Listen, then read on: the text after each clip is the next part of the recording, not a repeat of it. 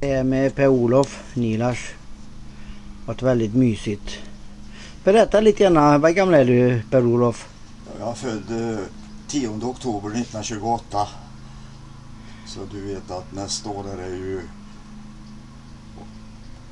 och- vad är det? Det är 1918. Nej, 2018 nästa år. Ja, det är... Så då får du, du räkna ut själv. Ja, då blir du 90 år. Vad har du sysslat med under ditt liv?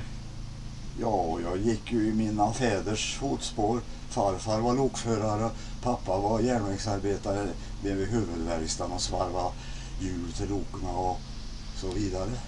Sen fortsatte jag som lokrekryt här i Åmål. Jag blev lokförare. Jag fick befordran 1972 eller.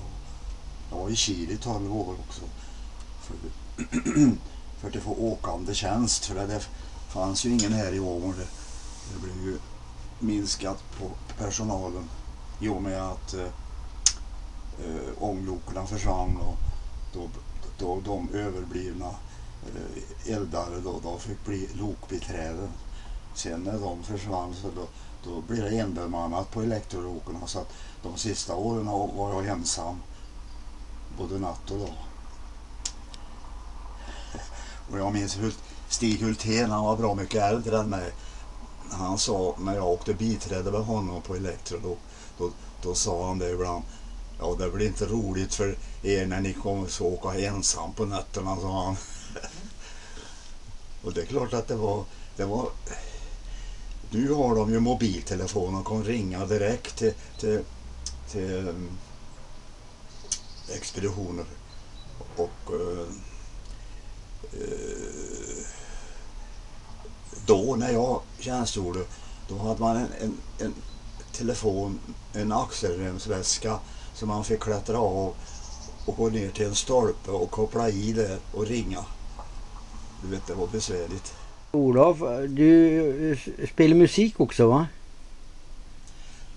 Ja, det är mycket man kan spela här i livet.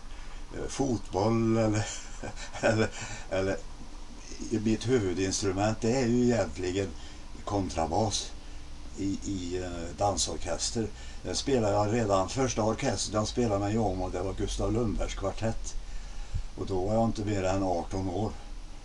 Och eh, jag blev väldigt glad nu när Örnäsposten kom för där var det ett stort fotografi utav när Elektrikerförbundet i Åmål firade 30-årsjubileum och det var 1948.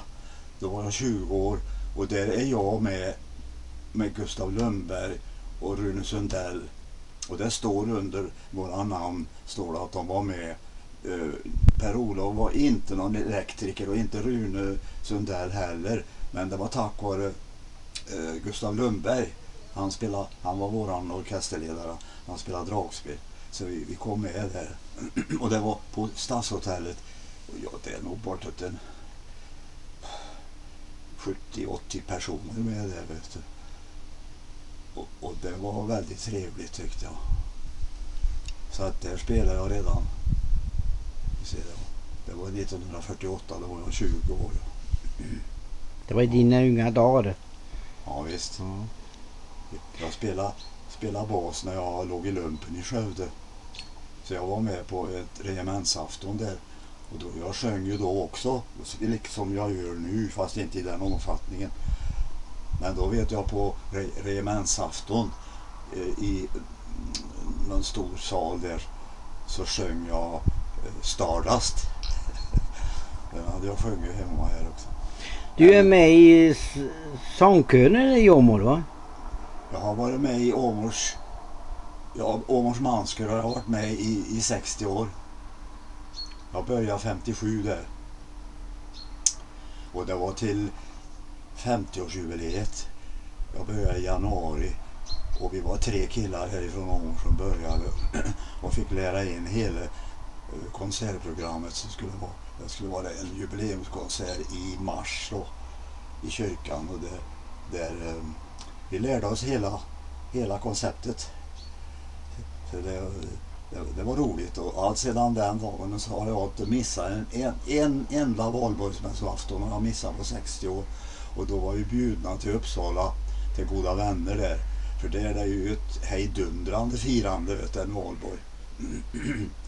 så att... eh, Ja, det var- måste ha varit intressant i alla år. ja, Mycket folk. Ja, ja, visst, visst. Ja, jag är den äldsta där i manskören nu. Det, det, det finns ingen äldre än mig. Så det, det, jag ska försöka vara med så länge jag orkar ta mig dit. Det är bra då. För stämman sitter kvar. Vet du. Ska vi gå in och ta en liten trudelutt? Yes! Det var trevligt då. Ska du spela en liten trudelutt åt mig eller? Där har du kontrabasen.